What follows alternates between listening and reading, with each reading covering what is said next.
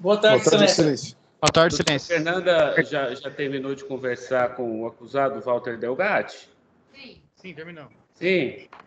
Então a gente pode iniciar a audiência, né? Ah, há alguma questão de ordem que os defensores ou o Ministério Público eh, queira registrar aqui antes de começar? Excelência, Excelência. também tem. É, se eu puder começar, agradeço. Nós Ah, ainda não fomos. Peraí, só um momentinho. pela Vamos aumentar aqui o volume, que eu não estou escutando. Só um só um segundo. Pois não. É, nós ainda não fomos habilitados pela Secretaria da Vara na delação do Gustavo. Tá, eu tô já. A, a- a decisão vai sair provavelmente hoje, tá? É, e aí o senhor será habilitado, tá? É, mais é que a decisão já foi dada, Excelência. Sim, sim, eu vou, eu já, já, já, já vou providenciar. A Dani está fazendo isso, habilitando lá. Porque a DPU já foi habilitada na Estou conversando aqui com o secretário, ele vai providenciar, tá? Muito obrigado. É, alguma Excelência? Não, doutora. é, a questão da defensoria se refere, a gente já foi habilitado no processo, né, que tem os acordos, mas não tivemos acesso ainda aos vídeos das delações e o nosso HD externo ainda está em poder da Polícia Federal, só para constar que a gente ainda está sem acesso aos documentos que, os, do- os dados telemáticos e os documentos apreendidos, só para deixar Tá. Bom. Depois, na fase do 402, a gente vê isso aí. Se a senhora tiver alguma dúvida na instrução e mantiver, aí eu decido sobre a conveniência, de novo, de, de ouvir outras testemunhas. É, mas a senhora já foi habilitada. Eu estava vendo ali agora para dar essa decisão. É, é O que porque eu tenho, que eu tenho a delação é aquilo ali. É o que a polícia mandou, o Ministério Público mandou. Eu não tenho Sim. nada além daquilo. Sim, na vara parece. O vídeo parece que não tem na vara, mas tem em posse da Polícia Federal, sim. Porque ali só tem o termo do acordo, né? Não tem o que foi falado. E aí, isso que é o importante para a defesa do Correio, né? No caso. Tá, eu vou averiguar isso posteriormente. É, Tá é, mais alguma coisa? Podemos prosseguir? Sim, Excelência, pela ordem. Pois não, doutor O- eu não sei é, é, se tem mais alguma testemunha para ser ouvida, doutor. Se eu queria ver com o doutor se é possível manter o Walter na, na superintendência, ao menos até, a, até a, o interrogatório dele, em função de que o acesso a ele vai dificultar muito para que, em função do Covid, enfim. Queria ter a possibilidade de senhor mantê-lo lá na, na superintendência. Tá. É, eu vou, vou, vou verificar aqui sobre a disponibilidade da Polícia Federal, acho que não vai ter problema. Tá? É, eu, ok, eu também peticionei ontem, Excelência, passando o link aí do Gustavo e da Suelen e, e também fiz o requerimento com relação a- aos documentos que foram apreendidos. O doutor acabou ainda não, não, não despachando. Se eu puder depois dar uma atenção nesse sentido. As mídias que foram, que foram, é os- é um pedido idêntico aí da, Defensoria Pública. Hum, documentos o senhor- já deu o policiais. HD para a polícia? Porque é muita coisa. Então, é, eu preciso da autorização do senhor. Se Autorizando, eu encaminho o HD lá para. É só ir lá, é só ir lá procurar o doutor não- é, só, é só uma questão formal, né? O senhor tem direito de ir lá e, e verificar isso aí, tá? Mas eu vou doutor despachar. Ricardo, doutor Ricardo, doutor Ricardo, se o senhor me permite, com o doutor Zampronha, e até a Manuela pode confirmar isso comigo, não é bem assim que funciona com o doutor Zampronha. O doutor Zampronha ele quer autorização judicial para entregar o HD, caso contrário, ele não vai entregar. A, a Manuela passou por isso e Vai com entregar. O certeza senhor, vai o, passar. senhor, o senhor que tem que entregar o HD externo, porque são 7 terabytes. Sim, sim, eu vou entregar o HD para ele, mas ele não vai fornecer, para me devolver esse HD se não tiver uma autorização expressa do senhor. E mais uma coisa, o senhor tem que eh, me passar o e-mail do cliente do senhor, porque senão ele não é intimado. Né? Na minha decisão, Já eu passei, falei. doutor. Já passei, doutor. Passou? Quando é que Já foi? consta, consta no- agora? Ontem à noite. Ontem à noite. Então tá bom. É, vamos iniciar então. É, o- só fala então para a Dani já terminar a decisão, já habilitar, tá? Já para a gente não ter mais problema. Vamos iniciar então. Ação penal.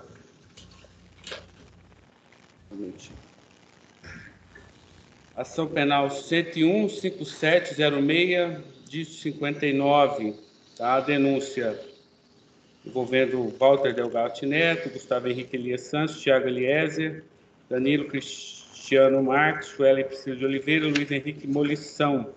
Tá? É, boa tarde, doutor Sérgio Moro. O senhor está nos escutando? Ouço bem, Excelência. Boa tarde. Boa tarde. É, doutor Sérgio Moro, é, o senhor foi arrolado aqui pela pesquisa de Walter Delgatti, Gustavo Henrique, Suelen Priscila, nesse, nessa ação penal que trata aqui é, da, segundo consta a denúncia, a constituição de uma organização criminosa é, com a finalidade de praticar diversos crimes cibernéticos.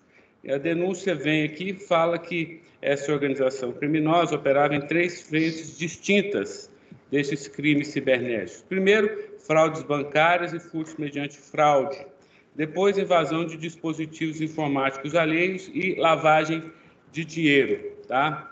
É, vou tomar então o compromisso de dizer a verdade. É, não tem mais ninguém aí no recinto com o senhor, não, né? O senhor está sozinho? Não, sozinho. Tá. Só para a gente cumprir o protocolo aqui, até do manual teleaudiência da, do Conselho de Justiça Federal. Tá?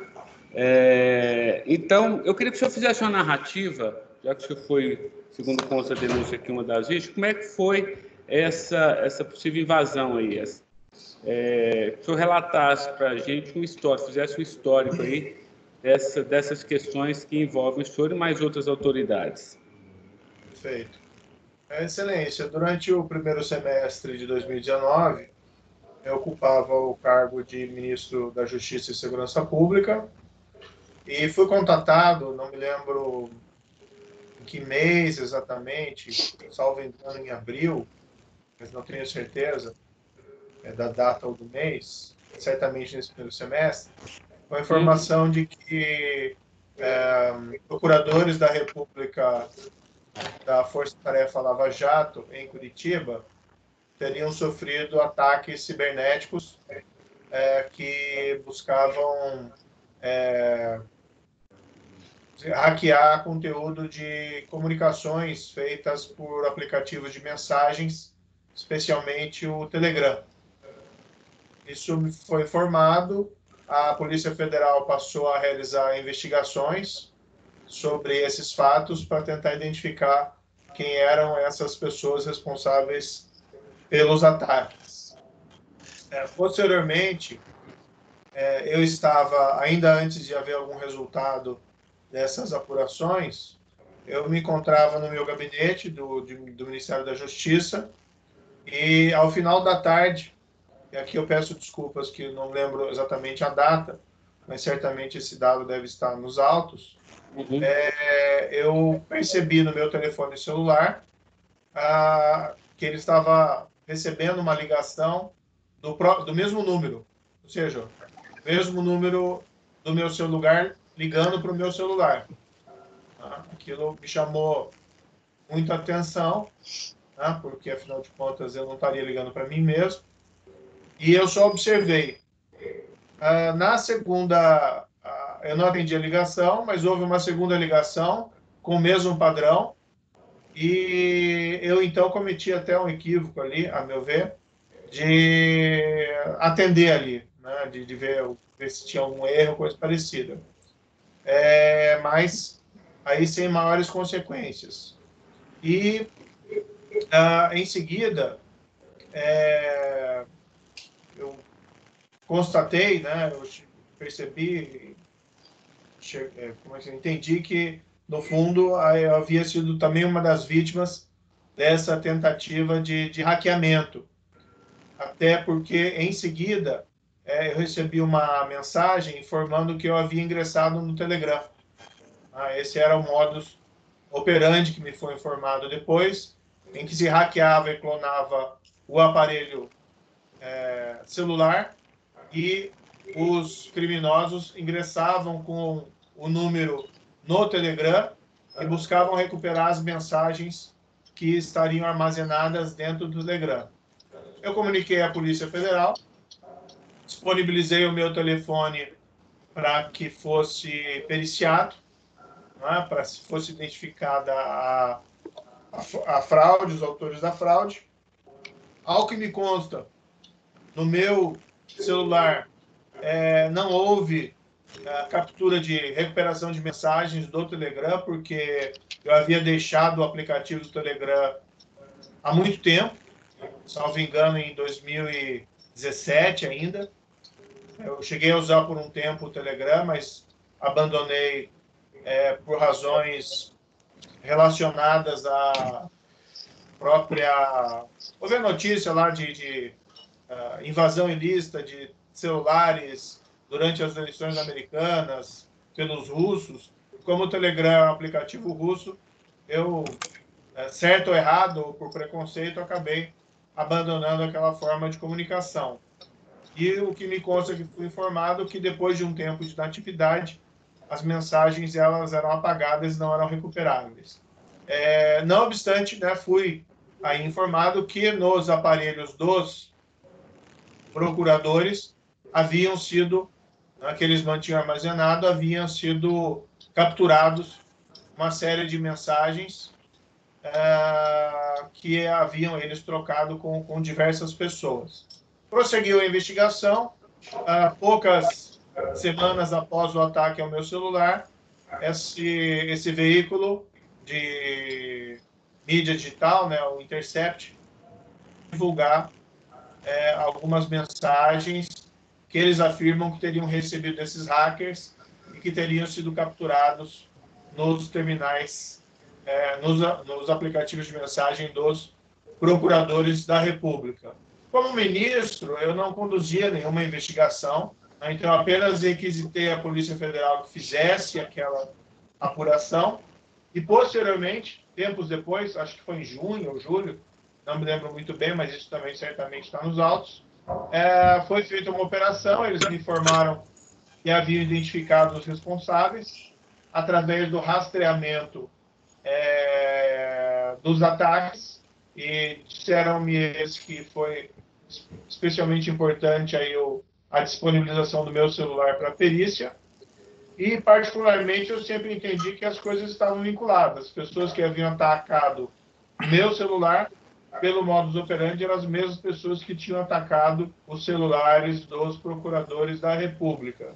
E depois, no curso das investigações, também me foi informado pelo, pela Polícia Federal de que tinham atacado, inclusive, o aparelho celular do presidente da República, além de outras autoridades, como do presidente da, da Câmara, Rodrigo Maia, e também do ministro Alexandre de Moraes, do Supremo Tribunal Federal. A Polícia Federal me passou essa informação, como ali envolvia a questão de segurança nacional, eu entendi por necessário comunicar a essas autoridades né, de que tinham sido vítimas do, do ataque. E foi, foi, basicamente o que eu fiz né, em relação a esses fatos. Aí eu acompanhei apenas à distância as investigações, né, eventualmente saía alguma informação de teria se identificado a pessoa X ou a pessoa Y, e como essas mensagens teriam passado das mãos dos hackers para o Intercept. Mas eu não conheço os detalhes da finalização do resultado das investigações, porque aí foi me ocupar com, com outros temas. Basicamente, okay. um resumo é esse. Ok. A defesa do Walter tem, tem perguntas? Sim, Excelência, tenho perguntas, Excelência.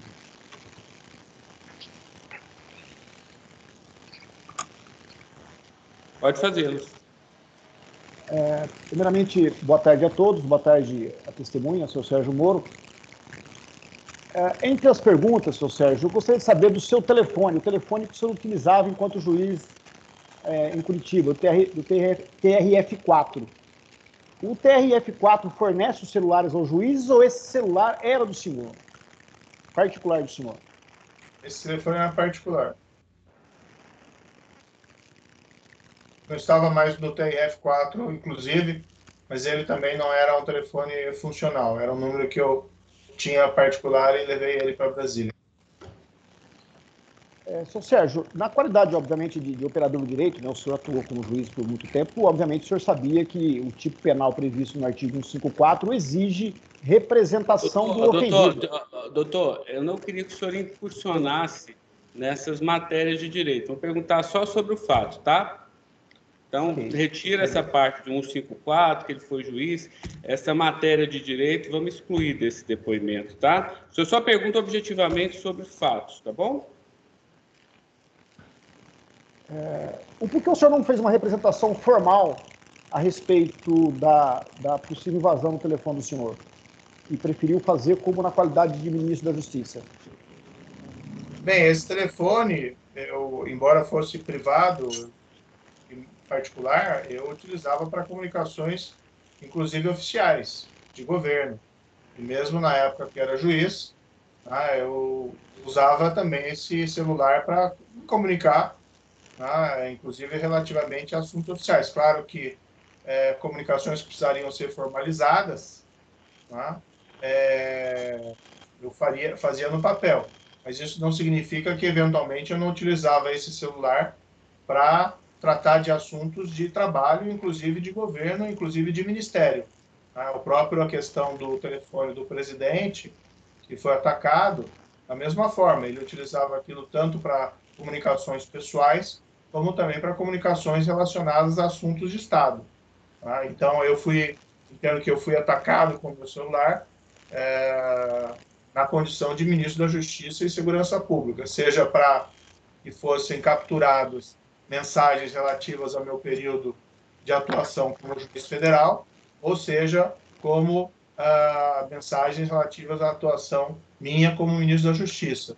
Na condição de ministro da Justiça, autoridade do Estado atacada por hackers que queriam obter provavelmente informações de Estado confidenciais, é, eu fiz a representação.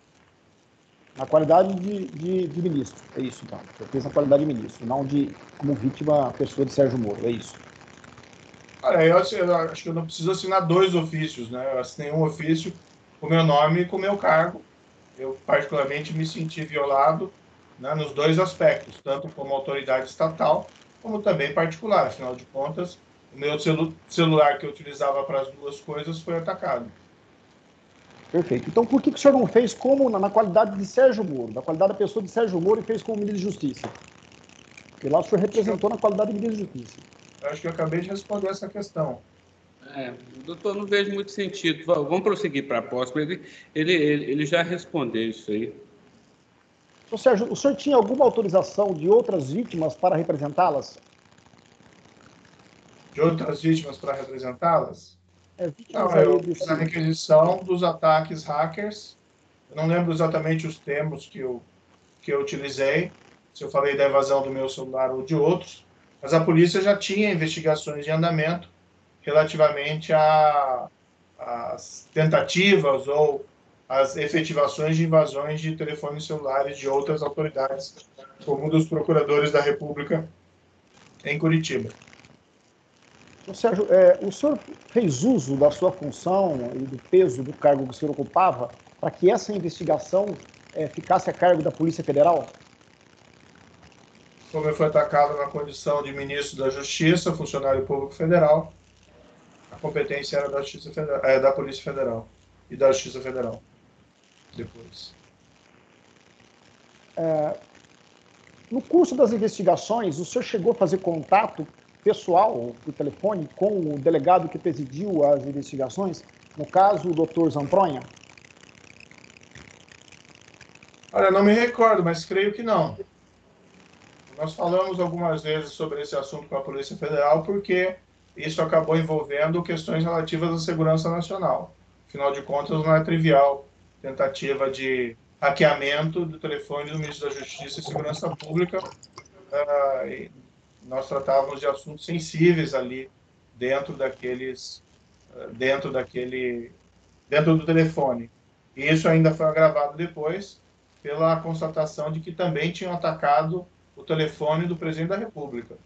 Ah, então aí são assuntos de segurança nacional. Isso é objeto, inclusive, de foi objeto de discussão entre a mim e a Polícia Federal por conta desse fato. Então, Sérgio, o senhor, no, no, no início do, do, seu depoimento, o senhor disse doutor Ricardo que o senhor era informado constantemente pela Polícia Federal do andamento dos trabalhos de investigação. Quem especificamente falava com o senhor a respeito das, das investigações?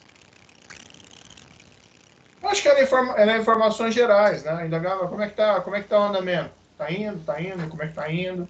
Né? Então isso é, normalmente era me informado. Se é, ela estava avançando, se eles estavam conseguindo progredir, se não estavam conseguindo progredir e tal, etc. Mas é, eu não, não tinha acesso ao inquérito, eu ficava examinando as provas, ou que, o que, que eles estavam ali verificando. Era só um acompanhamento do andamento dos trabalhos, afinal de contas, além da questão da minha posição de vítima, havia também essa situação envolvendo a segurança nacional. É, é, essa pergunta, senhor Sérgio, é, quem era a pessoa que o senhor falava diretamente sobre esse assunto? Eu acho que quem me informava normalmente era o próprio diretor-geral da Polícia Federal. Né? Mas em detalhes assim eu não, não me recordo especificamente. Você chegou a pedir ajuda do senhor Maurício Valeiro para que ele atuasse nesse, nessa, intermediando essa, essa informação do senhor? Não, veja, o diretor-geral ele não cuida diretamente das investigações. Quem fazia essas investigações, isso foi, me foi informado, estava né, encarregado ali o delegado, não sei se ele era o, relator do inquérito ou ele era o presidente lá do, do setor específico, era o delegado Zampronha. O diretor-geral não se envolvia diretamente na feitura das investigações. Evidentemente, quando o meu telefone foi atacado, eu comuniquei ao diretor-geral da Polícia Federal que uh, realizou a movimentação necessária. É, Sr. Sérgio, é, recentemente é, o, presidente, o presidente da República foi acusado aí de intervir junto à Polícia Federal. Essa atitude do senhor, pelo que o senhor avalia, não foi uma interferência do senhor junto à Polícia Federal na qualidade de ministro de Justiça? Claro que não. Doutor, mas ele já está tá, já tá ferindo o escopo, né? Já está espraiando muito para uma outra linha investigativa. Essa questão. O senhor fique bem à vontade se o senhor quiser responder, doutor Sérgio Moro, porque. Excelência, pela ordem. É uma situação não, absolutamente diferente. A defesa é... não está colocando nada de fato. A única coisa que ela está é, fazendo já, já é procurando o fato político que não tem nada a ver com o processo. É, eu já, eu já adverti que essas avaliações jurídicas e essas avaliações devem ser feitas quando indispensável a narrativa do fato. Mas eu deixo o doutor Sérgio Moro, se ele quiser responder, se não quiser, envolve um aspecto pessoal. Isso é uma. Eu agradeço, Excelência, a ponderação, mas aí é uma absoluta confusão, são situações absolutamente diferentes. Naquele caso, meu telefone havia sido atacado e havia uma natural preocupação em saber quem que eram esses indivíduos que estavam atacando uh, telefones de autoridades federais. Mesmo depois do meu telefone, é, nós tivemos notícia de que foi atacado o telefone do ministro Paulo Guedes, do, da deputada Joyce Hasselman. Então havia uma situação extremamente preocupante em que é, criminosos né, estariam tentando aí obter informações é, de Estado, confidenciais, e isso estaria dentro da responsabilidade do ministro da Justiça de tomar as providências necessárias para cessar esses ataques. Então, eu ser informado das investigações era um passo natural. Mas é, eu nunca dirigi essas investigações. Tanto que eu não sabia ali sequer dos detalhes específicos e jamais eu conduziria ou daria determinações ao delegado para agir de uma forma ou de outra nessas investigações. Era uma informação já que esses crimes transcendiam em muito ah, interesses ou direitos particulares, mas sim eram atentados contra a segurança do Estado. Não, doutor. Sérgio. Sim, doutor. É, logo, após, logo após a prisão do Walter e os demais envolvidos aí, que acabaram sendo presos quando da operação, é, em seu Twitter o senhor parabenizou a Polícia Federal é, sobre a prisão. Qual era o objetivo do senhor? Era influenciar a Polícia Federal? Não, congratular a Polícia Federal pelo trabalho bem feito. Isso eu fiz também outras vezes, por exemplo, teve ano, agora recentemente, a Polícia Federal conseguiu localizar, prender e extraditar para o Brasil o segundo em comando do PCC, o indivíduo chamado Gilberto o apelido Fubinho, e foi feita a mesma congratulação. Nesse mesmo Twitter, o senhor disse que as fontes, é, é, essas pessoas, né, a fonte de confiança daqueles que divulgaram as supostas mensagens. Por isso que eu estou lendo é, a questão das supostas mensagens. Com essa mensagem, o senhor não reconhece as mensagens como sendo verdadeiras? O senhor analisou as mensagens? Havia alguma mensagem falsa que o Walter interceptou ou criou essas mensagens? O seu Walter admitiu que foi ele que interceptou as mensagens? Sim, admitiu, doutor. Foi ele que interceptou as mensagens. Certo. Bem, veja, eu, eu nunca reconheci a autenticidade dessas mensagens, até porque eu não tenho mais essas mensagens nos meus aparelhos, então eu sequer pude fazer essa confrontação. Mas, de todo modo, eu acho que sobre essas mensagens que foram obtidas ilicitamente, é impróprio aí que eu tenho que responder perguntas sobre elas. É, doutor Sérgio, é, no dia seguinte das, das, divulgações das mensagens por parte do site Intercept, o senhor postou nas redes sociais que tratava-se de organização criminosa. Por qual motivo o senhor postou isso, se o senhor não sabia quem era? Desculpe, pode repetir aqui o áudio. Celeste, mais uma vez pela ordem. É, a defesa está fazendo é, uma pergunta de CPI para a testemunha. Não tem nada a ver com o processo isso. Eu, eu, eu, eu adoro a ampla defesa e tudo mais, mas a pergunta do, da defesa aí nada mais é do que viés político. Nada mais que isso. É uma pergunta objetiva nos moldes que o doutor É objetivamente política. Nada mais que isso. A prisão dele... Eu vou deixar a testemunha...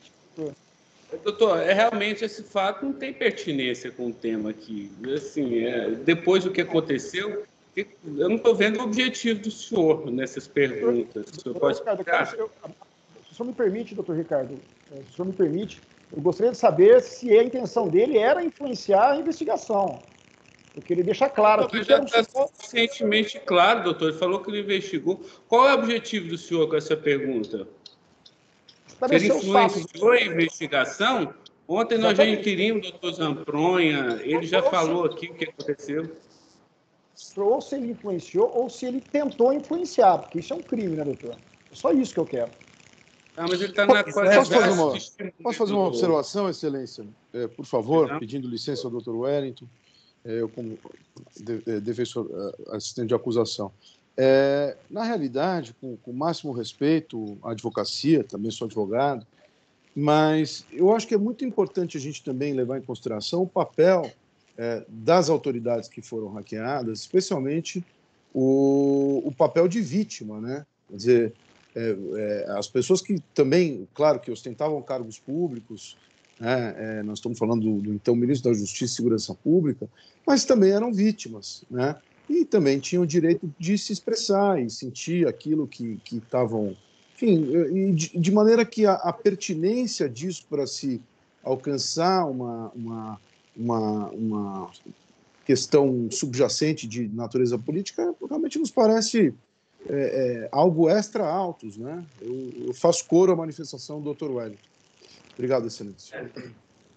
É, doutor, é, eu vou pedir que o senhor não faça mais esse tipo de pergunta, é, mas deixo à vontade, doutor Sérgio Moro. Se ele não quiser responder, fique bem à vontade, doutor Sérgio Moro deseja responder essa indagação para evitar qualquer, qualquer insinuação a seu respeito, então fique bem à vontade.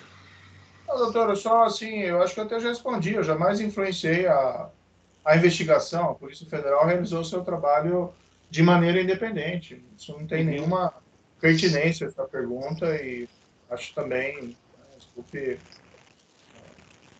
formular acusações à vítima, à testemunha, não é o mais correto, mas tudo bem. Tá. Pois é, doutor Iovaldo. Seu Sérgio, foi...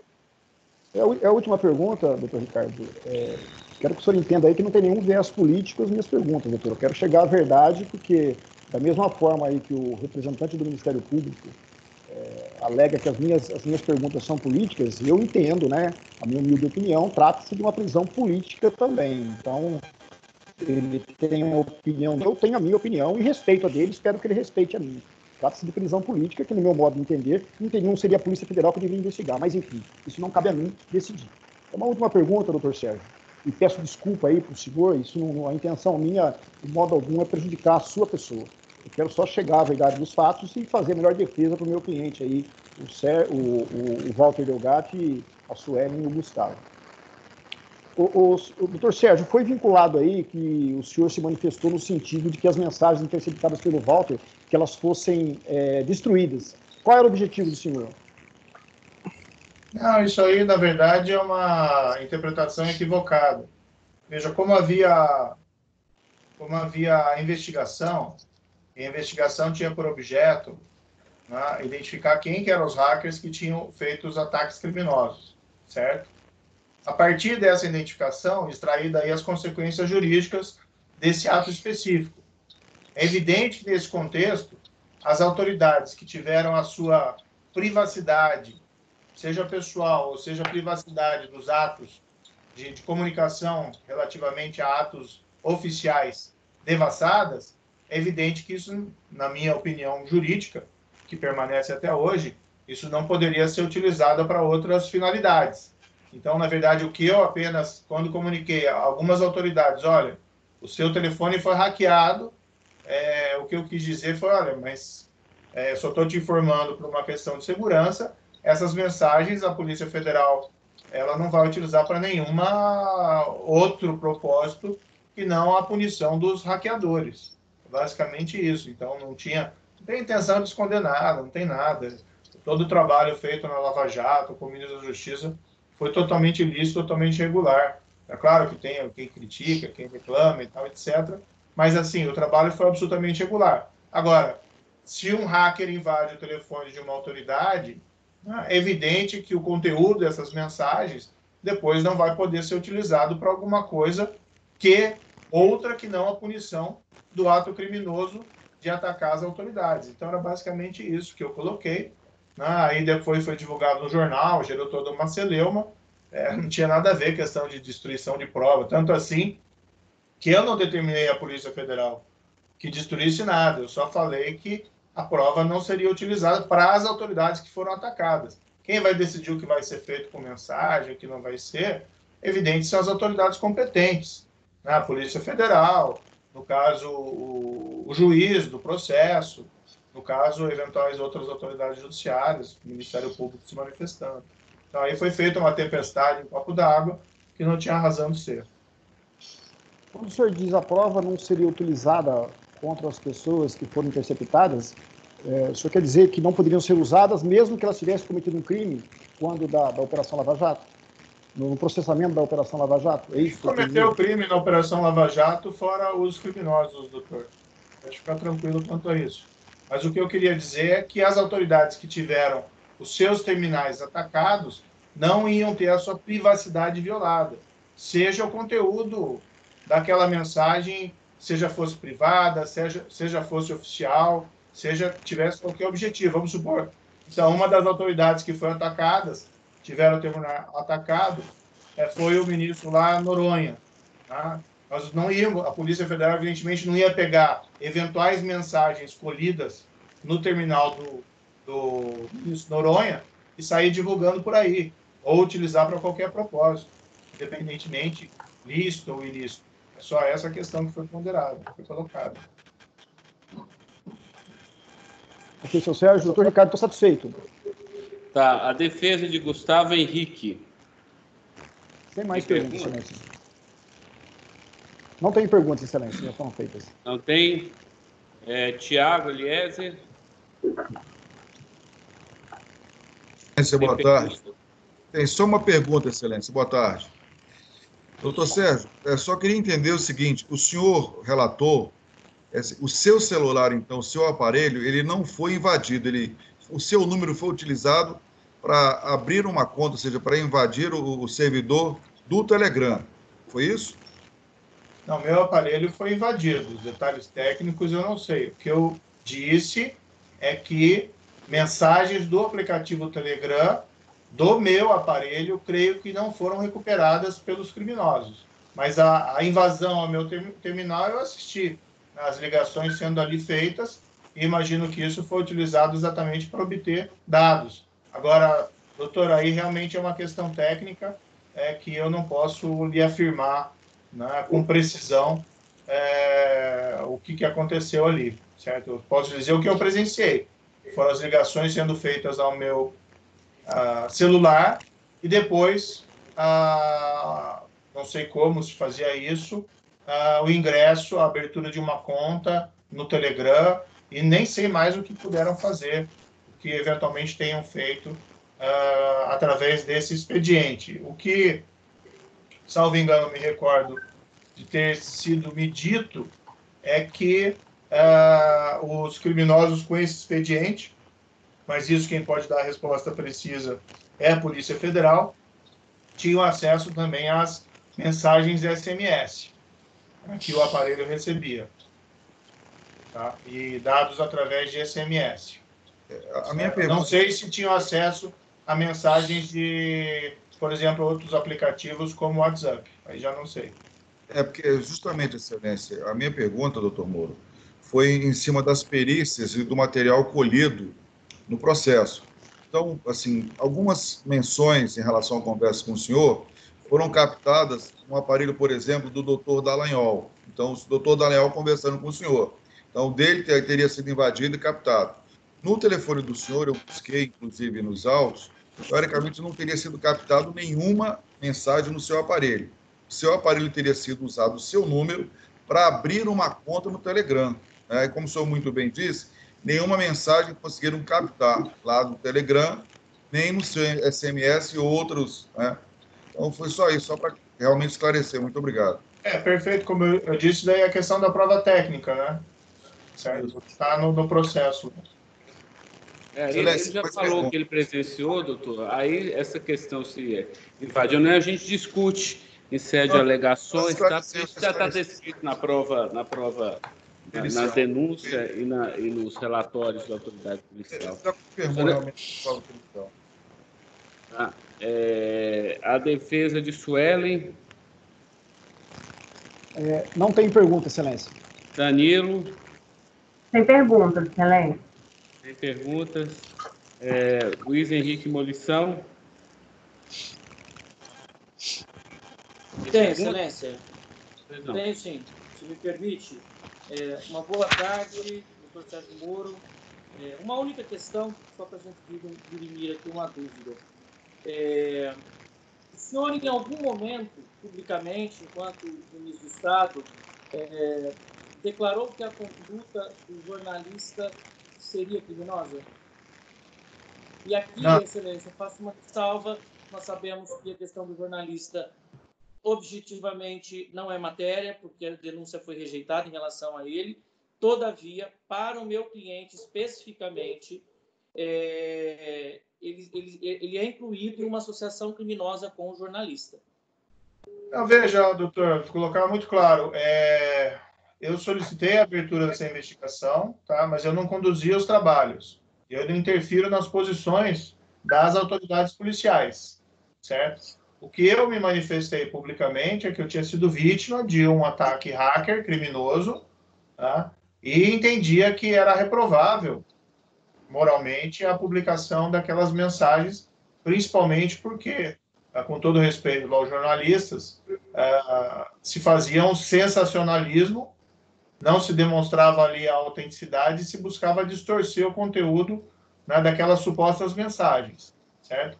Mas eu não me posicionei publicamente. Isso, na verdade, é facilmente buscável na, na, na, internet. Eu nunca disse que o jornalista havia cometido um crime específico ali naquela questão. Isso, a meu ver, depende muito da, da condução das investigações e da conclusão das autoridades policiais. Mas o que eu posso lhe assegurar é que eu jamais interferi no juízo que a autoridade policial fazia sobre os fatos seja do analista ou seja dos próprios é, pessoas identificadas como responsáveis pelos ataques. Tá certo. Sem mais, excelência. Muito obrigado. Ok. O Ministério Público tem questionamentos? Sem perguntas, excelência. Obrigado. Assistente de acusação. Também sem perguntas, excelência, aproveitando o ensejo para registrar a admiração ao trabalho é, de todos os integrantes da Força Tarefa da Lava Jato e também é, quando o doutor Sérgio Moro era juiz, e também ao seu trabalho como ministro de Estado de, da, da Justiça e Segurança Pública. Muito obrigado. Tá bom, sem mais perguntas, doutor Sérgio Moro, agradeço então a participação. Desculpe também, nós atrasamos aqui, está, é uma tecnologia nova essa videoconferência aqui, então a Justiça ainda engateando nessa função, tá bom? Perfeito, Excelência. Eu, eu agradeço a atenção e desejo um bom trabalho nesse Tá processo para a Justiça Federal de Brasília. Tá bom. Obrigado, doutor Sérgio. É. Até logo. Agora é Manuela.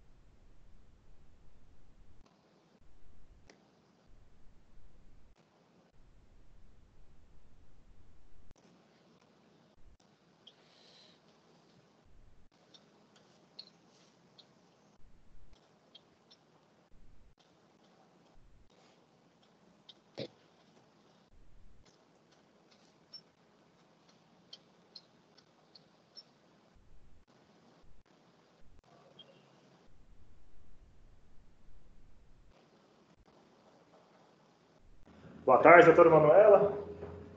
Me ouve bem? Boa tarde, escuto agora sim. Tá bom, vou chamar o magistrado, só um minutinho. Tá bom, obrigada.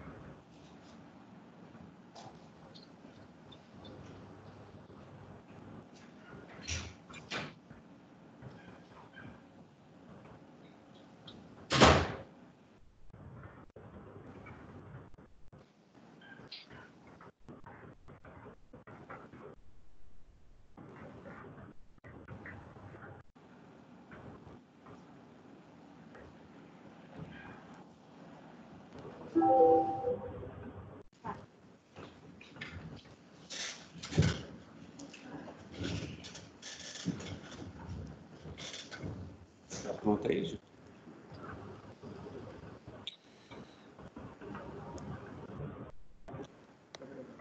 Tá? Doutora Manuela Dávila, boa tarde. Boa tarde, doutor. Como vai? Tudo bem? Tudo bem, tudo bem. Está nos escutando bem aí, né? Eu estou. Se o senhor não estiver, eu posso colocar os fones. Não, tá, tá escutando bem. Se der microfonia, aí, aí eu vou pedir para a senhora colocar, Tá bom. tá bom? Mas está Tá escutando bem aqui. Estou, estou escutando e vendo. Tá. É, só antes de iniciar a sua inquirição, a sua oitiva, a senhora está sozinha aí no ambiente, né? Só para garantir. Eu estou É. em casa, mas estou sozinha no ambiente. É, é porque tem o manual de teleaudiência aqui da Justiça Federal, ele pede para o juiz certificar como é que está o ambiente, para não ter nenhuma interferência na espontaneidade da testemunha, tudo bem? Não, inclusive tirei minha filha pequena de perto, doutor, que era a maior interferência que poderia ter. É, vamos lá, então. É a ação penal 1015706 de 59. É, doutora Manuela, existe uma ação penal, uma denúncia, aqui corre aqui na décima vara da Justiça Federal, em face de Walter Delgatti Neto, Gustavo Henrique Elias Santos, Tiago Eliezer Martins Santos, Danilo Cristino Marques, Suelen Priscila de Oliveira e Luiz Henrique Molição. A denúncia, de forma bastante sintética aqui, ela fala que houve a, houve a constituição de uma organização criminosa com a, finalidade, com a finalidade de praticar diversos crimes cibernéticos, entre os quais seriam fraudes bancárias e furtos mediante fraude, invasão de dispositivos informáticos alheios e lavagem de dinheiro. É, eu vou lhe pedir, inicialmente, vou lhe tomar o compromisso de dizer a verdade. O senhor Pedro sofreu um crime, um processo pelo crime de falso testemunho, mas eu vou pedir que a senhora faça uma narrativa, é, que a senhora faça aí, é, conte aqui para a Justiça Criminal como é que a senhora se insere, o que, que a senhora presenciou a respeito desses fatos aqui que envolvem esse processo. Certo. O senhor vai me tomar primeiro o compromisso? Não, já tomei, né? Eu só estou Ah, tá, não a fazer mentir, né? Já Bom, falei que você pode sofrer um processo pelo crime de falso Sim, testemunho. achei, achei que eu É. Ok. Ah, então, doutor, eu. Primeiro que eu não conheço fisicamente nenhum dos réus, né? Portanto, eu não, nunca vi nenhuma imagem eh, deles, exceto aquelas publicizadas pelos jornais, né? Eu, em maio de 2019, o ano passado, no Dia das Mães, eu não sei que dia era, só sei que era Dia das Mães, eu tive meu dispositivo Telegram invadido, né? Automaticamente a própria tecnologia me comunicou que estavam tentando acessá-lo a partir da, do, acho que do estado da, da Virgínia, nos Estados Unidos, A, a tecnologia do Instagram, o próprio aplicativo. Telegram, Telegram, Pois é, o próprio aplicativo lhe avisou que estavam tentando acessar, é isso? Sim, sim, doutor. Toda, toda, tudo isso que eu estou lhe comunicando está documentado. Eu entreguei a Polícia Federal voluntariamente. Então, o próprio Telegram, ele envia uma mensagem simples, dizendo que estão tentando acessar de um computador, se não é você mesmo, por favor, eh, faça tal procedimento. Eu não usava muito o Telegram, fiz o procedimento e continuei a minha vida, que era organizar um almoço aqui no Dia das Mães para minha família. E, ato contínuo, recebi uma mensagem, em nome do senador Cid Gomes, uh, me perguntando se eu poderia falar com ele com urgência. Eu tentei telefonar, não consegui. E depois o, senador Cid Gomes perguntou se eu confiava nele, respondi que sim, integralmente, e essa pessoa então me disse que não era o Cid Gomes, que tinha um conjunto de informações para passar, que tinha invadido meu celular e que me enviou algumas imagens da invasão do meu celular, uma conversa minha com um outro parlamentar, essa então uma conversa real que eu havia mantido no meu celular com o deputado Jean Willis, à época deputado Jean Willis, e me enviou essa mensagem para comprovar como tinha sido essa pessoa que tinha invadido o meu telefone e se desconectou Uh, eu estou falando tudo de cabeça para o senhor, então eu estou tentando lembrar a ordem dos fatos. Tá? Até para privilegiar a espontaneidade. é, senhora, então só para. Se não eu se não recordar, depois de na minha frente. Eu lhe digo porque eu não estou com as mensagens na minha frente, então, assim, não é. É, é, são os fatos como eu me lembro cronologicamente. A partir disso, essa pessoa se desconecta do, do, contato Cid Gomes, né, da pessoa que havia feito contato comigo, que eu imaginava que fosse o senador Cid Gomes, e se conecta comigo a partir de um outro perfil. Fala que tem muitas informações relevantes para me passar. Eu imaginei que fosse uma armação política contra mim, né? Não, o ambiente político não é muito simples no nosso país. E segui conversando com a pessoa. Ela começou a me enviar alguns prints poucas fotografias uh, de imagens de documentos, e eu recomendei que a pessoa procurasse um jornalista. Eu sou jornalista de formação, mas não, não me julguei alguém, digamos assim, tecnicamente a melhor pessoa, tanto para aferir legitimidade de documentos, como uh, esses documentos constavam né, na fala da pessoa, não nos documentos, mas na fala da pessoa, da pessoa sobre os documentos. A pessoa dizia que era um conjunto de crimes de crimes de autoridade do Estado brasileiro. Né, eu liguei para o meu advogado, né, para me certificar, porque eu, antes, como parlamentar, ao tomar conhecimento de algum crime, de algum, alguma autoridade do Estado brasileiro, se eu não fizer, tomasse uh, providências, o senhor sabe que significaria prevaricação, né? Então, liguei para o meu advogado para consultar se era um caminho adequado encaminhar para um jornalista, porque eu não sabia se era crível, se não era, se era verdadeiro, se não era, o que estava acontecendo. Então, uh, sugeri que essa pessoa contatasse o jornalista Glenn Greenwald. E essa pessoa aceitou e fez o contato. Eu nunca vi fisicamente a pessoa, né? Então, não, enfim, essa pessoa grifou uh, que não queria dinheiro, que não tinha nenhum e que queria, enfim, queria passar para mim. Eu sugeri que passasse para outro jornalista com mais, digamos, experiência em jornalismo investigativo, etc., como é o caso do jornalista eh, Glenn Greenwald, né, que eu sabia também que tinha uma responsabilidade profissional grande, ou seja, uh, alguém que ganha um Pulitzer, que é o maior prêmio na, na, na minha área, não, não digamos assim, não fará uma bobagem com informações, né, não publicará informações falsas, uh, enfim, terá algum grau de responsabilidade com isso, por meu raciocínio à época. Ok. É, a defesa de Walter Delgado, tem perguntas? Doutor, tem que ativar o microfone. É... Está ouvindo, excelência? Está ouvindo agora? Estou, estou ouvindo. Doutor Manuel, está tá ouvindo bem aí a defesa do Walter Delgatti? Eu vou fechar o meu microfone porque tem um pouquinho de ruído, doutor, mas eu não estou ah, vendo, mas ele, estou ouvindo. Ele vai fazer as perguntas agora, tá? Ok. É, boa tarde, Manuela. É, boa tarde e agradeço aí sua presença para esclarecer alguns pontos que ficaram controvertidos aí durante a investigação. E, enfim. É, quando o Walter fez o contato com a senhora, é, em algum momento ele, ele transpareceu que ele queria alguma remuneração financeira para fornecer esse material?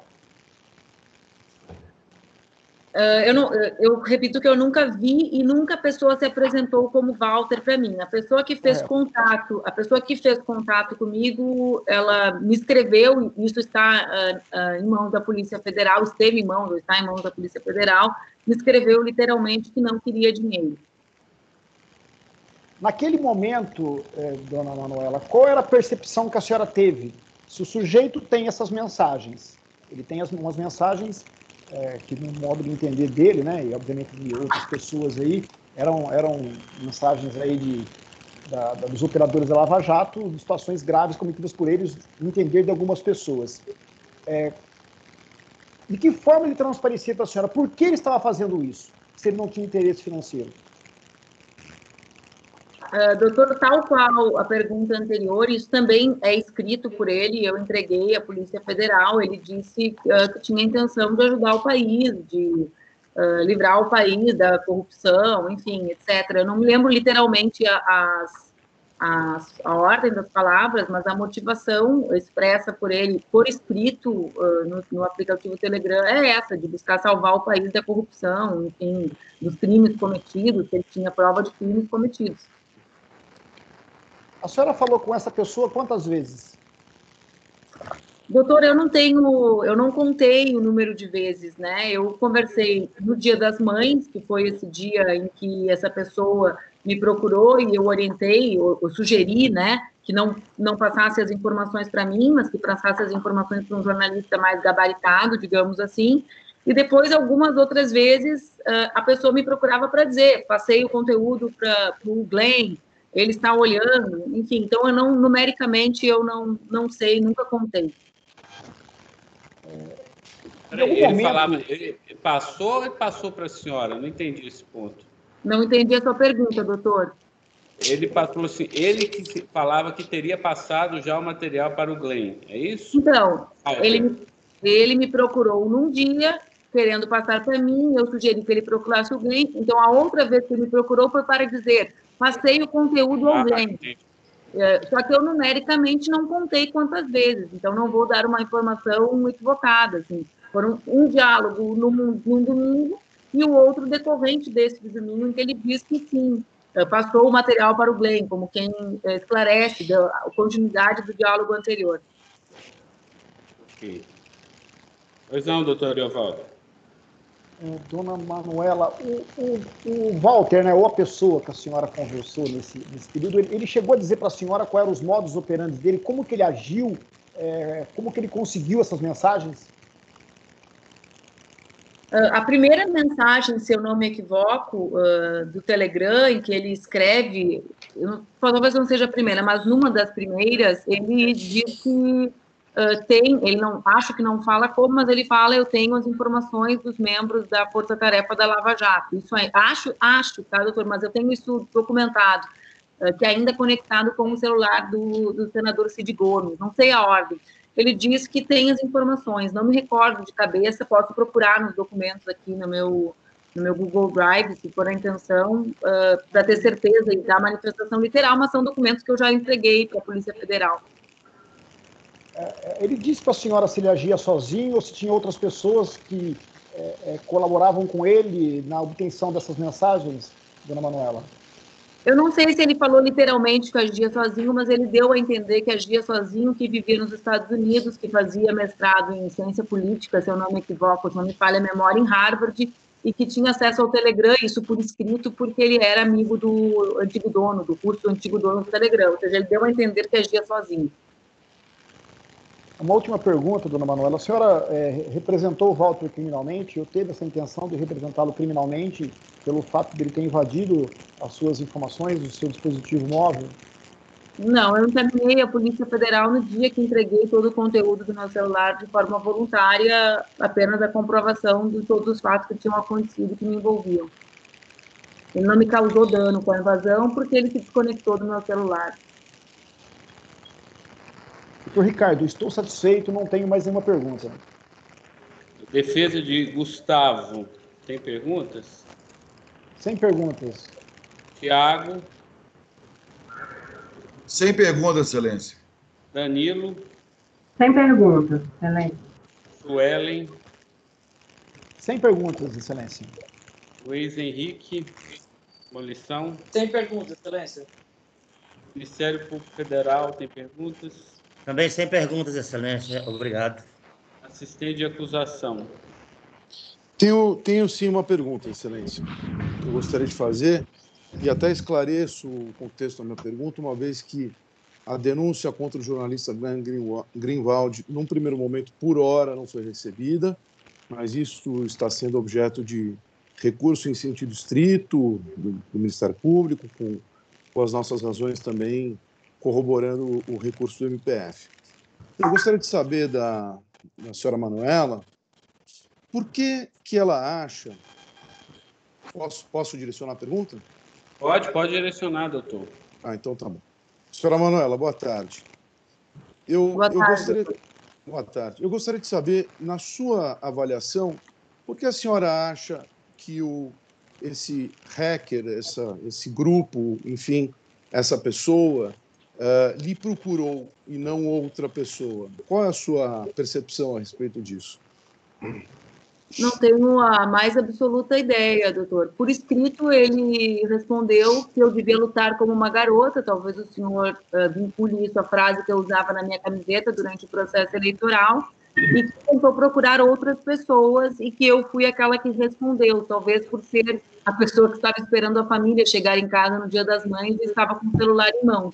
Então, ele, não, ele manifestou essas, essas duas únicas questões, né? Que eu respondi, outros não e que eu devia lutar como uma garota para salvar o Brasil.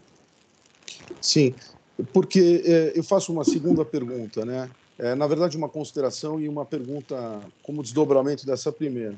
É, realmente, no, no, é, essa, essa procura, ela é curiosa, enfim, nos traz alguma, alguma espécie de, de inquietação na medida em que ele poderia muito bem ter procurado diretamente o jornalista Glenn Greenwald, uma vez que no site do Intercept consta, constam todos os e-mails dos jornalistas. Então, como a senhora bem diz que a, a ideia, a motivação, o drive dos hackers é, dessas pessoas, enfim, dessa pessoa que ele procurou, seria salvaguardar o Brasil, por que, que ele precisaria de uma figura política é, e não de uma figura jornalística, uma vez que a senhora é muito mais conhecida como uma figura política do que propriamente uma jornalista, e não foi diretamente no site? Essa é uma pergunta de, de alta indagação da nossa parte.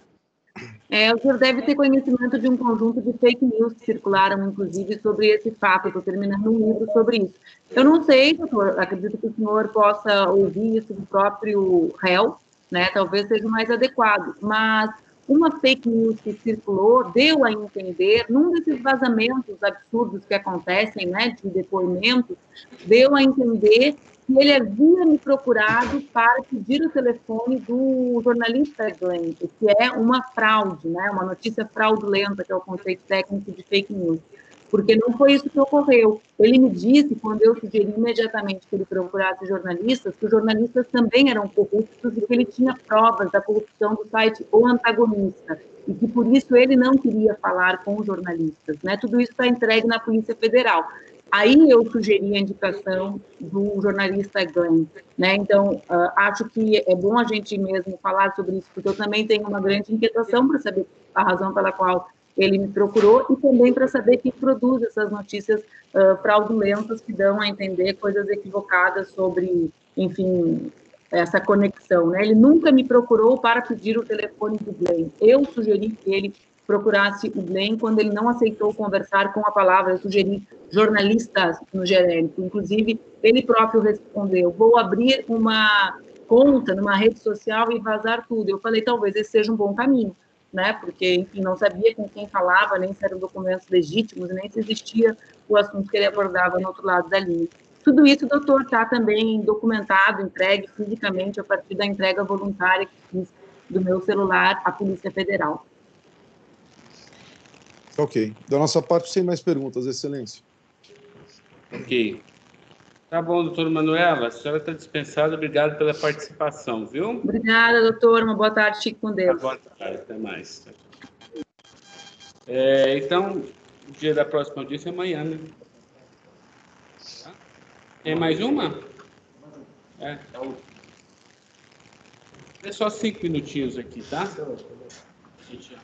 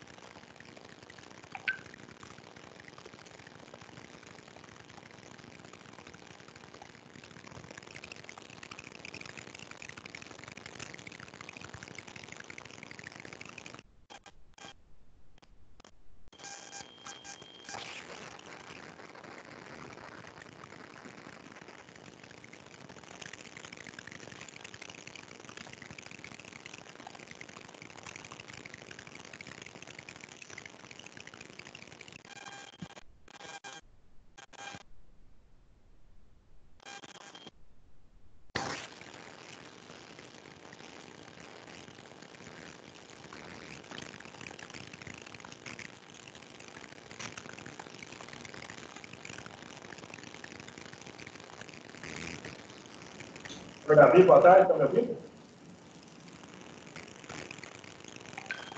Você pode ativar o microfone, senhor, por favor? Oi, boa tarde. Agora sim.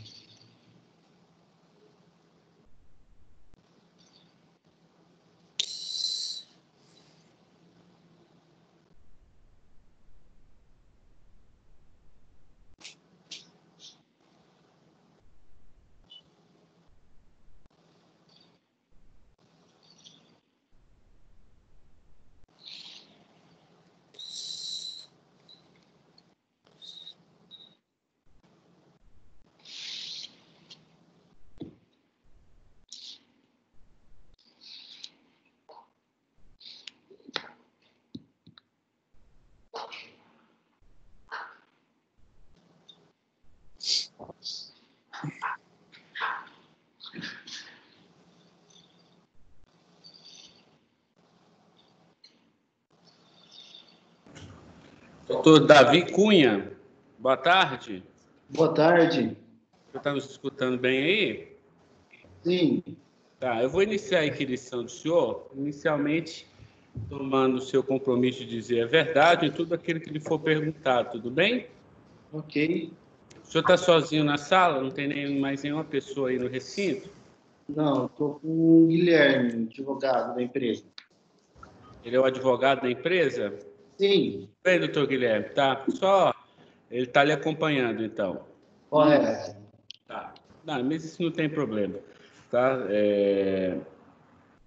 É... Existe uma ação penal que corre aqui na décima vara federal, aqui em Brasília, uma ação penal contra Walter Delgatti Neto, Gustavo Henrique Elias, Thiago Eliezer Martins, Danilo Cristiano Marques, Suelen Priscila de Oliveira e Luiz Henrique Molição.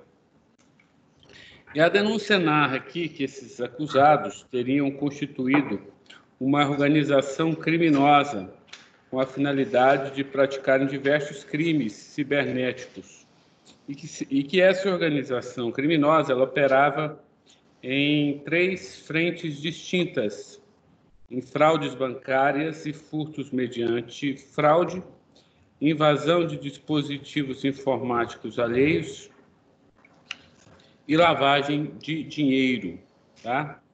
É... O que, que o senhor sabe a respeito desses fatos aqui que eu narrei de forma bem sintética e que envolve essas pessoas aqui? Não tenho conhecimento de nada, doutor. Uhum. Tá, o senhor é testemunha arrolado pela defesa do Danilo.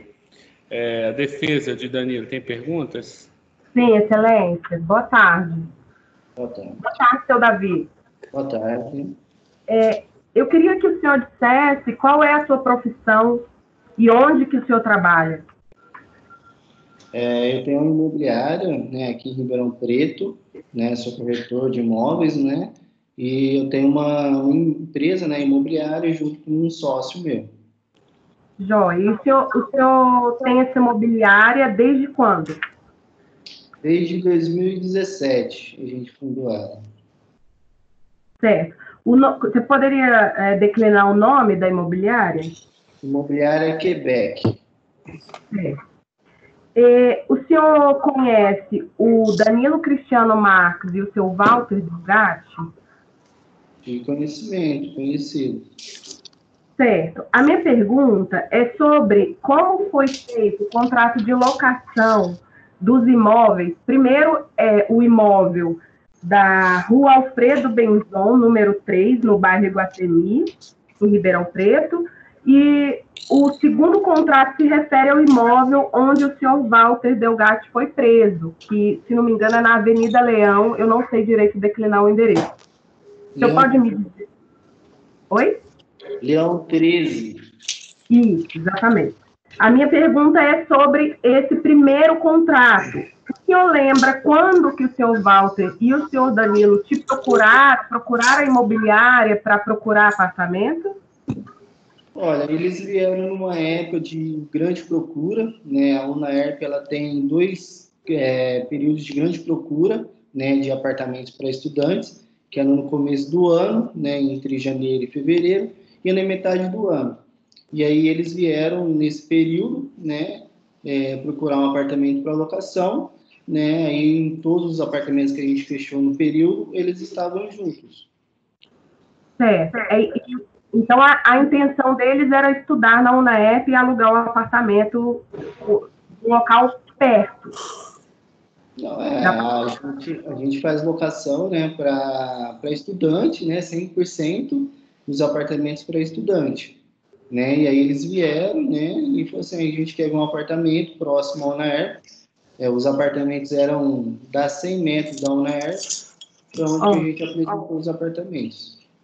Certo. E, e aí o, o, o senhor lembra é, quem afirmou o contrato, quem assinou o contrato de locação? Não, vieram os dois, né? O tanto o Danilo e o Walter. Eles vieram ver apartamento juntos, né? A gente mostrou os apartamentos, eles acabaram escolhendo e fecharam o contrato. E aí, aí falaram que o apartamento ia ficar no nome do, do Danilo. Certo. É, o senhor sabe quem passou a morar no apartamento? Como é que foi esse, esse então, na verdade, é, a, gente, a gente é uma imobiliária, a gente faz a locação do imóvel, né? É, e aí, quem dá o acesso, né, dentro, tanto do, dentro do prédio, dos prédios, é a própria administradora. Né? Então, assim, a gente não tem, não tem controle quem frequenta o apartamento, no caso. Certo. E o senhor se recorda por quanto tempo que o, esse, esse primeiro apartamento na rua Alfredo Benzon ficou alugado? Ah, eu, eu, eu, se não me engano, acho que mais de um ano, um ano e meio, quase, mais ou menos. Certo. E aí houve a troca para o segundo apartamento, que foi na Avenida Leão 13, como o senhor bem disse. O senhor pode dizer como é que funcionou as tratativas para esse segundo apartamento e por que que houve essa mudança? Não, é, na verdade, os dois me procuraram, né, querendo um apartamento maior, né, aí a gente tinha esse apartamento disponível, que fica em frente, né, ao, faz ao outro, outro endereço, né, do prédio, que era o The Spot, eles mudaram para o edifício prédio, né, fica em frente a um apartamento de um dormitório, né, e aí foi feito a troca, né? Eles saíram de um e foram para o outro. Certo. É, eu não tenho aqui comigo a cópia do contrato desse segundo apartamento. O senhor se recorda quando ele foi firmado?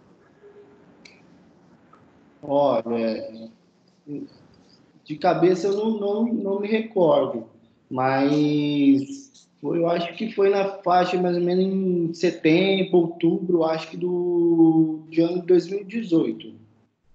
É. É, a minha outra pergunta se refere se em algum momento o Danilo Cristiano Marques procurou o senhor, seja por WhatsApp, procurou a imobiliária, para que retirasse o nome dele do, de figurar como a pessoa que tinha assinado o contrato? Sim, ele me procurou, Danilo, né, assim, perguntando quais eram a, a forma, né, se poderia trocar, né, tirar o nome dele do contrato.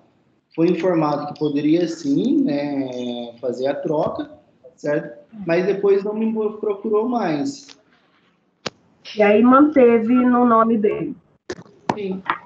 Certo. Aí a minha outra pergunta é: o senhor sabe se o senhor Walter, durante esse período que, que é, viveu nesses dois apartamentos que, é, que foram, é, o aluguel foi afiliado pela sua imobiliária, se ele vivia uma vida é, de um fugitivo ou se ele tinha uma vida normal, procurava, assim, por mais que o senhor não tivesse contato no dia a dia dele, mas a minha pergunta é se ele estudava, se ele saía de casa, o que, que o senhor sabe, assim, em relação a isso?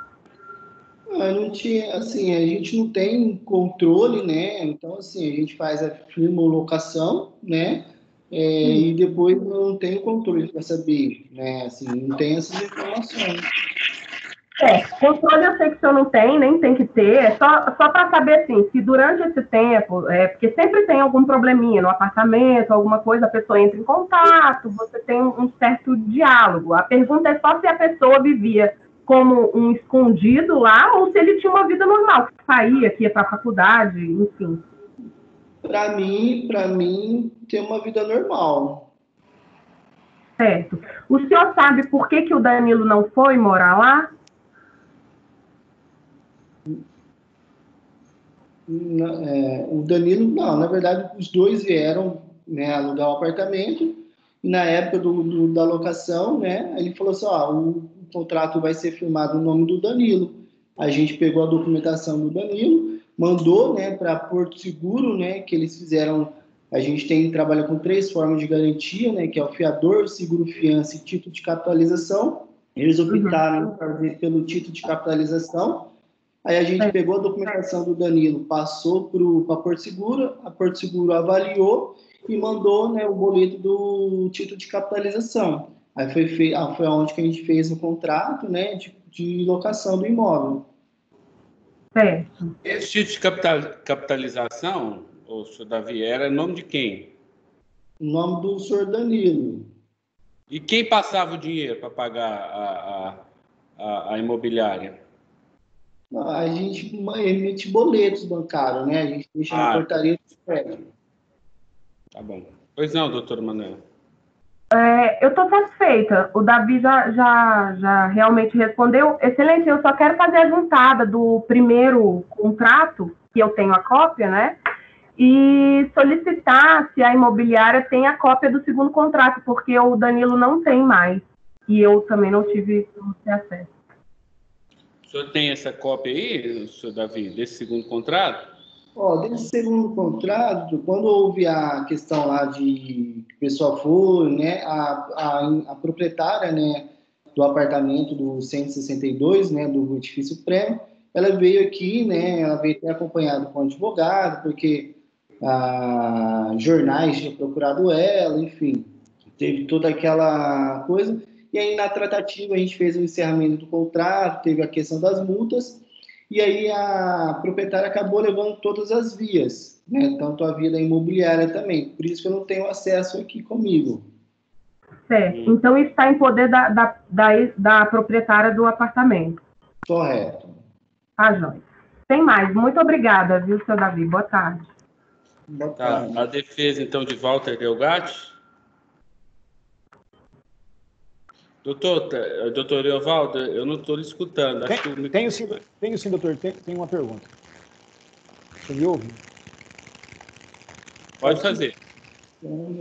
É, boa tarde, boa tarde, senhor Davi. O senhor me ouve bem? Ouço, O, o Walter, quando, quando o senhor conheceu, ele deu o nome para o senhor de Walter, como sendo Walter. Meu nome é Walter. Ele disse isso para o senhor ou ele deu um nome falso para o senhor? Não, meu nome de Walter o senhor, chegou, o senhor frequentava ali o apartamento? O senhor estava é, sempre por ali ou, ou não? O, o, senhor não viu o dia a dia deles, dele e do, do Danilo? Conhecimento do dia a dia. Né? A nossa imobiliária, ela fica embaixo do primeiro prédio que eles alugaram, né? Então, o meu convite com o prédio é sempre estava mostrando apartamento, né? Sempre estava levando pessoas, novos inquilinos, né? Para visitar os apartamentos do prédio. O senhor chegou a ver o Walter indo para a faculdade? Ele realmente frequentava a faculdade? O senhor sabe informar? Não, eu não sei. O senhor não viu? Não, porque assim, não, tem, não sabia os horários, né? Que a gente abria aqui das 8h30, fechava às 16, 18 horas, né? Na verdade, 6 horas da tarde. Mas aí eu não, não sabia quais eram os horários, então não, não tenho conhecimento. As contas de, de, energia elétrica e de água é, é, é, um débito automático na conta do, do, locador ou quem pagava, pagava isso era, era o Walter e o Danilo? Você se recorda? Não compreendi a, a pergunta, doutor. Quem pagava as contas de energia elétrica é o locador ou o locatário? Quem era o responsável pelo pagamento? É, o, o, locatário, toda a energia, né, tipo assim, condomínio, energia, né, CPFL no caso aqui, fica no nome do inquilino, nunca do locador. Então, toda locação, a gente faz uma nova, faz um pedido né, de ligação, né, no nome da pessoa, né, do locatário, no caso. Senhor sabe dizer se era um débito automático na, na, na conta do locatário ou não? Não, aí do locatário, aí é eles que, assim, eles que faziam pedido, né? Ou a CPFL, que é aqui de Ribeirão, mandava o boleto para ele estar pagando, né? Ou eles poderiam colocar em débito automático, tinha conhecimento. Estou satisfeito, doutor Ricardo. Obrigado, senhor Davi. Nada. Gustavo Henrique Elias Santos, sem pergunta? Sem perguntas, doutor. Tiago Eliezer Martins.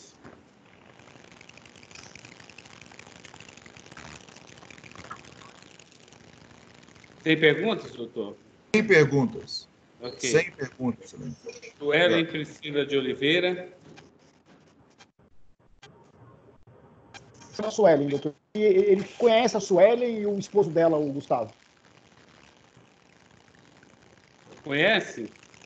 Oi? Eu conhece o, o Gustavo, Henrique Elias Santos e a Suelen Priscila de Oliveira? Não, desconheço. Luiz, Henrique, Luiz Henrique Molição. Sem perguntas, Excelência. Ministério Público Federal. Também sem perguntas, Excelência. Obrigado. Assistente de acusação.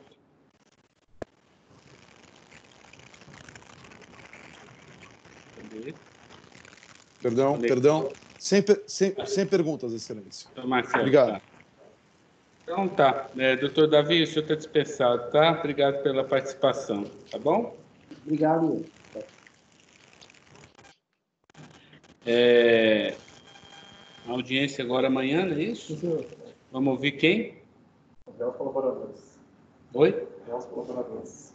Os réus colaboradores, tá bom. Excelência, Pois não. ainda ontem, em razão de manifestação dessa defesa, Vossa Excelência havia consignado que os interrogatórios seriam mantidos na próxima semana. Ah, sim. Porque eu havia dito que nós não teríamos tempo hábil para sentar, conversar com o cliente. Tá, então essa semana é, é, é, é, tá, tá, tá, é, acabou, acabaram então os atos essa semana, só semana que vem, tá? E a, a questão da habilitação do senhor é, já foi deferida e já foi já praticada no PJE, tá? O senhor tem acesso ao que a vara tem, tá? Eu agradeço, Excelência. Eu tenho mais um pedido, se o senhor me permite. É, a possibilidade de permitir que o Luiz venha de Sertãozinho a Ribeirão Preto, considerando que são cidades contíguas. É, aliás, até é, me reportando ao meu, à, à Procuradoria, é, o Luiz ele não está dormindo em Ribeirão, ele não está passando o dia. Como as cidades são próximas, ele vai e volta, a família o leva e o traz. Então, se vossa, eu faço aqui o pedido para que Vossa Excelência permita que ele continue esse fluxo na parte da tarde de amanhã até audiência, até as audiências da próxima semana. Não, sim, não, não, há, não, há, não há. O senhor vai peticionar por escrito ou pode ser só oral isso aqui? Não, estou fazendo por aqui. Eu acho mais fácil. Ah, não, está deferido, não vejo problema nenhum nisso. Tá? Muito obrigado. E- Excelência, então, a, a data da próxima audiência é quando? Só para eu me É. programar aqui. 16 de julho, dá numa terça, quarta. Onde é que dá? Quinta. Quinta-feira. 16 de julho, mesmo horário, né? Isso. E aí a gente vai ver. Se não, tiver- se, não, se não der tempo, eu acho que não vai dar. 16, que mais? E 21. E de 21. Aí a gente, se precisar de mais um, um, um dia extra, a gente marca depois. 14 horas, é isso? Ou 14h30? da sessão, sabe? 14 horas. Amanhã foi adiado porque alguns acusados Não, o doutor me, me, me pediu aqui mais um tempo, porque ele não tinha acessado ainda a delação. Perfeito. Né? E aí ele vai acessar agora, vai verificar, e aí para dar mais um tempo para ele se preparar. Tá? Perfeito, excelência. 14 ou 14h30? É, é, é 14, hoje come- começamos 14h30, né? 14 horas, o dia 16, não é isso? Se quiser alterar? Tá. Per- perfeito. Pode pôr 14 14 Doutor Ricardo, Eu vou, pôr- eu vou alterar aqui, eu vou, a decisão saiu 14 horas, mas eu vou pôr 14h30, tá? Tá perfeito, excelência. Muito obrigado. Doutor Ricardo, boa tarde. Não, É, todos os advogados já têm acesso às delações dos colaboradores?